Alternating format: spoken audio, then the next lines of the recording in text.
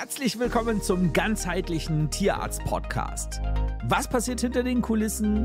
Was bewegt Tierärzte und Tierbesitzer? Und natürlich Real Talk. Hallo lieber Tierfreund, wir haben in der Praxis immer wieder Hunde, die ganz blöd irgendwo drauf treten, die sich eine Kralle abreißen oder anbrechen. Das kommt auch bei Katzen vor, wenn auch weniger häufig. Nun, was ist das Gefährliche daran? Wenn sich ein Hund, bleiben wir erstmal beim Hund, eine Kralle anbricht. Da gibt es verschiedene Möglichkeiten. Er bricht nicht nur die Krallenspitze ab, er kann sich die aber auch mittendrin brechen. Dann ist auch meist schon das Krallenbett mit verletzt. Und er kann sich halt komplett die Zehe ausreißen. Nicht die Zehe, die Kralle, sodass halt wirklich im Knochenansatz schon das erste Zehenglied fehlt und damit auch die Grundlage für die Kralle. Bei den Hunden, die sich die Krallenspitze anbrechen, ist meist nicht schlimm. Es blutet nicht, also da muss man dann nicht intervenieren. Aber die Hunde, die sich die Kralle halt auf halber Höhe zum Beispiel brechen oder ein bisschen tiefer, da ist es ganz, ganz wichtig, dass man diese Kralle entsprechend entfernt. Weil jede Bewegung tut weh. Und wenn wir das Krallenbett mit verletzt haben, ist die Gefahr, dass dort Keime aufsteigen, sehr, sehr groß. Wir müssen uns ein bisschen die Anatomie vors geistige Auge holen. Und zwar ist das letzte Zehenglied, das ist geformt wie die Kralle. Und das ist aus Knochen. Und da drumherum befindet sich das Krallenbett. Ein ganz fein durchblutetes Gewebe, auch viele Nerven und so weiter. Und darum blutet es auch meistens sehr, sehr stark. Auf diesem Krallenbett sitzen die Zellen, die nachher die Kralle bilden. Das sind Zellen, die sich sehr häufig teilen. Die äußeren Zellen, die verhornen die lagern halt dieses Hornmaterial ein und sterben dann ab. Und werden dann nach außen geschoben, laufen sich ab. Und in der Tiefe auf dem Nagelbett, da sitzen halt die lebenden Zellen.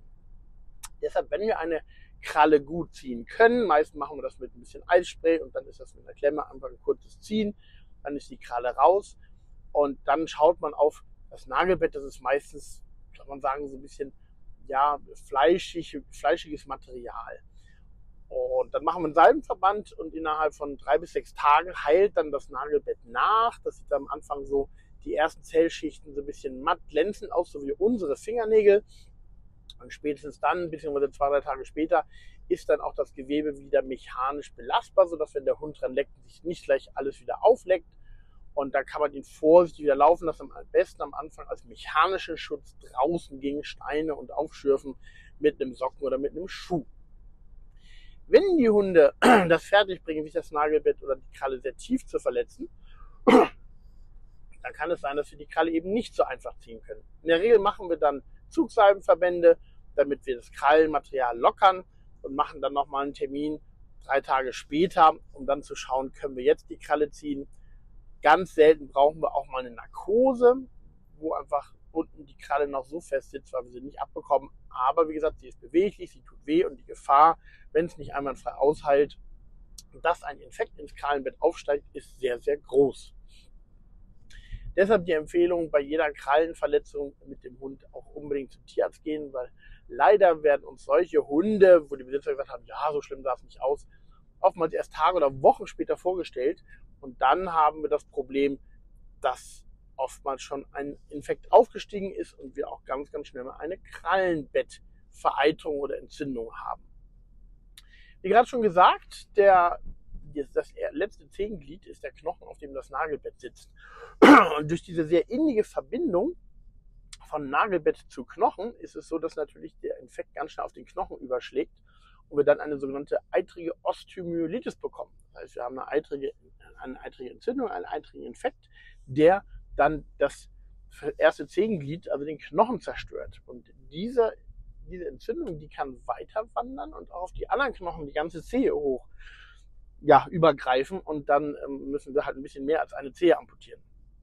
Das kommt auch manchmal vor, wenn der Hund sich zum Beispiel die Kralle sehr tief abreißt, also das Krallenbett mit rausreißt, das kommt gelegentlich vor. Manchmal muss man dann vorne ein bisschen Gewebe entfernen, damit es überhaupt zuheilt. Sonst bleibt es halt eine chronische Wunde, weil das Krallen, Bett vorne einfach die ganze Anatomie der Kralle, wenn die Kralle äh, gezogen wird oder, oder rausgerissen wird, manchmal heilt es einfach nicht zu.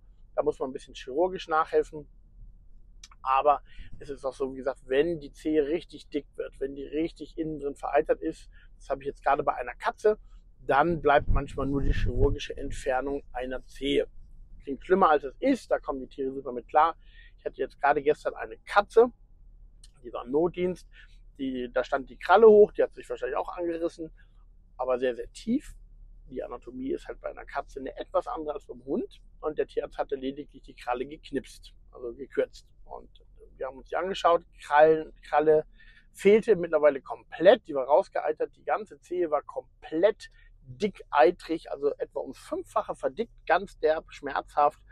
Da haben wir jetzt erstmal ein Antibiotikum gegeben, haben einen Salbenverband gemacht und schauen am Donnerstag nochmal. Ich habe aber die leise Befürchtung, dass wir da eventuell zu spät kommen und dort die Zehe schon amputieren müssen, bevor es halt auf die ganze, ja, ganze Pfote überschlägt. So. Also deshalb unbedingt immer den Hund oder die Katze beim Tierarzt vorstellen bei Krallenbett oder Krallenverletzungen, weil es auch viel, viel schlimmer werden kann, besonders wenn man halt diese Fälle sehr spät in die Finger bekommt. Passt auf euch auf eure Fellnasen auf. Ich wünsche euch einen wunderschönen Tag und wir sehen uns dann im nächsten Podcast, ihr Lieben. Herzlichen Dank, dass du bis jetzt dabei warst. Abonniere gleich den Podcast, damit du nichts mehr verpasst. Und danke dir für eine positive Bewertung hier bei iTunes.